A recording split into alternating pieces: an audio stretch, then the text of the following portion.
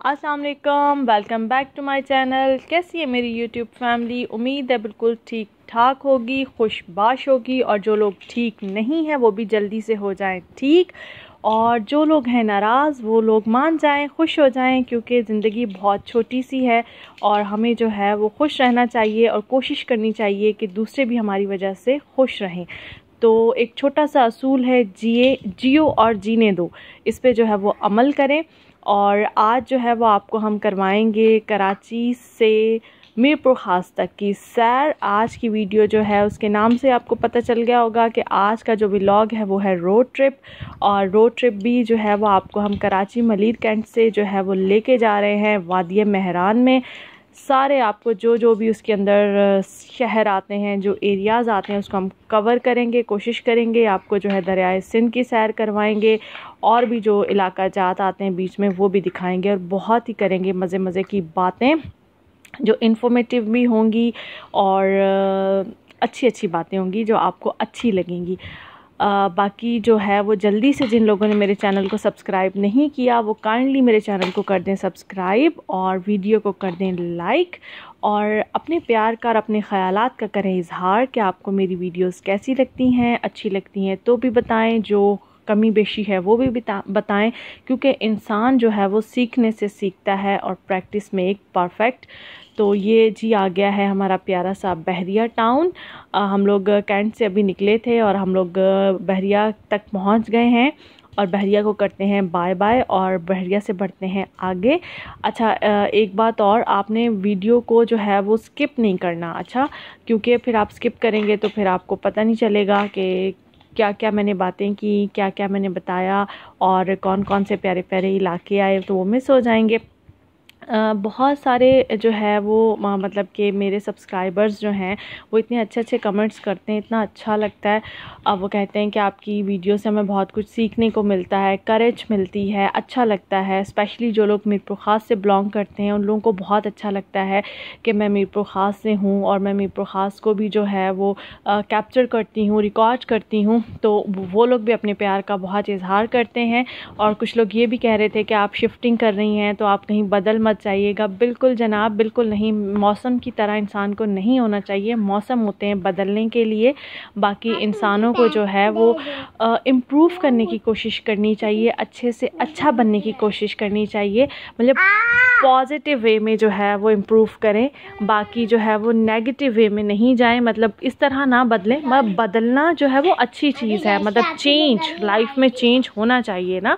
आ, हर चीज़ में चेंज आता है। आप इन्हांस करते हैं ठीक है? बाकी वो पॉजिटिव वे में जाए तो वो बेटर है ना कि नेगेटिव वे में।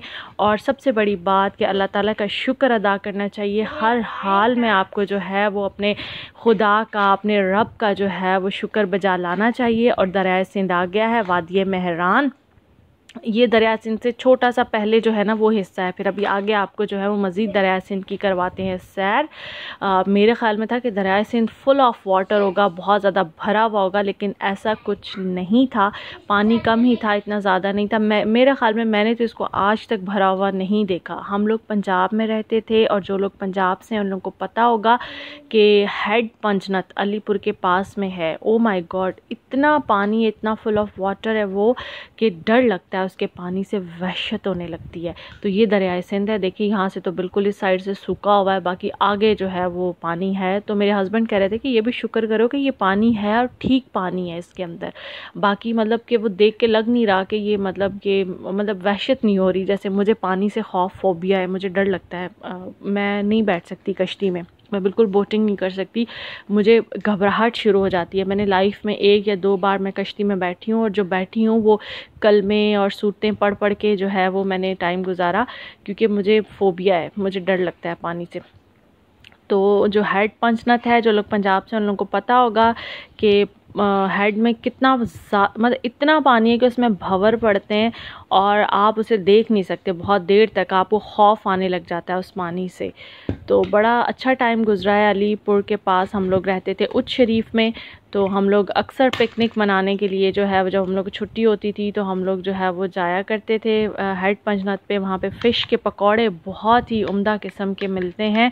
आ, वो हम लोग स्पेशली खाने जाते थे या कोई भी गैस सिंध से आता था हमारा तो उसे हम जो है वो घुमाने के लिए वहाँ हेड पे लेके जाते थे। हेड उसे इसलिए पंजनत बोला जाता है कि जो हमारे पाकिस्तान के पाँच दरिया हैं ना उन पाँचों दरियाओं का वहाँ पे जो है वो मिलाप होता है मतलब आ, आ, मिलते हैं आके पानी वो हेड है उनका आ, बहुत बड़ा।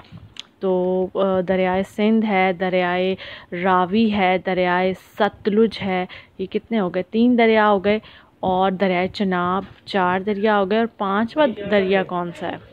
वो मैं भूल गई हूँ पाँचवें दरिया का नाम आप लोगों को याद आए तो आप लोग बताइएगा। ये हमारे जो है वो माशरती आलूम जिसे सोशल स्टडी बोलते हैं उसके क्वेश्चंस होते थे जो बहुत रटे हुए थे और अब तो मैं भूल चुकी हूँ जबकि अब भी याद होने चाहिए ये जनरल नॉलेज है। आजकल के जो आ, ये टेस्ट वगैरह जो होते हैं जेएसटी और पी तो इस टाइप के क्वेश्चन आते हैं इसमें तो आपको इतनी नॉलेज होनी चाहिए। इंसान को बुक रीडिंग का जो है वो आदि होना चाहिए, आपको पढ़ते रहना चाहिए ख्वा वो जर्नल नॉलेज हो ख्वा स्टोरी बुक हो या कोई और हो। तो रीडिंग जो है वो ये बहुत अच्छी हैबिट है। अपने बच्चों में भी जो है वो बुक रीडिंग की आदत जो है वो डालें क्योंकि आपको नॉलेज मिलती है और नॉलेज इज़ पावर अगर आपके पास नॉलेज नहीं है तो आपके पास कॉन्फिडेंस नहीं है। अगर आप अपनी लाइफ में कॉन्फिडेंस लाना चाहते हैं तो आप नॉलेज गेन करें, सीखें, इल्म हासिल करें, चाहे आपको चीन जाना पड़े। हमारे प्यारे नबी का कॉल है। तो जनाब जी, मीरपुर ख़ास जो है वो आगे आने वाला है, आ नहीं गया, आने वाला है, नज़र आ रहा है। तो हम लोग आस पास हैं मीरपुर ख़ास के और जो लोग भी मीरपुर ख़ास से हैं वो ज़रा कमेंट कर दें हाई कर दें। क्योंकि बहुत सारे मेरे सब्सक्राइबर्स जो हैं वो मीरपुर ख़ास से हैं।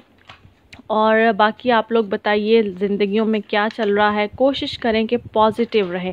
जैसे हम कहते हैं ना कि हाइड्रेटेड रहें। डॉक्टर अक्सर कहते हैं कि पानी ज़्यादा से ज़्यादा पिए तो मैं आपको कहूँगी कि अपने अंदर पॉजिटिविटी जज़ब करें एब्जॉर्ब करें। नेगेटिविटी को जो है ना, वो एक्सेल कर दें और पॉजिटिविटी को इनहेल करें। अब कुछ लोग बोलेंगे, मैं बहुत फास्ट बोल रही हूँ।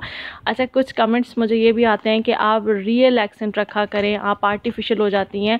तो ऐसा नहीं है जनाब, मैं रियल ही हूँ। मेरी कोशिश होती है कि मैं जैसी हूँ, मैं वैसी हूँ हाँ। वॉइस टून में जो है वो फ़र्क आ सकता है क्योंकि कभी जो है वो बच्चे सो रहे होते हैं तो बहुत आहिस्ता जो है वो वॉइस ओवर करना पड़ता है। कभी जो है वो इवन वॉशरूम में जाके भी मैं वॉइस ओवर करती हूँ क्योंकि बच्चे सो रहे होते हैं तो फिर जो है वो मसला होता है।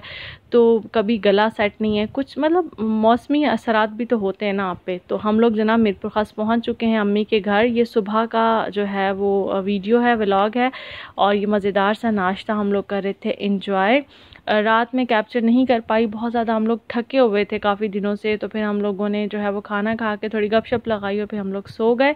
और अभी हम लोग जो है वो अर्ली उठे हैं क्योंकि हम लोगों को नादरा ऑफ़िस का भी काम था, वो काम शाम निपटा के नादरा ऑफ़िस का।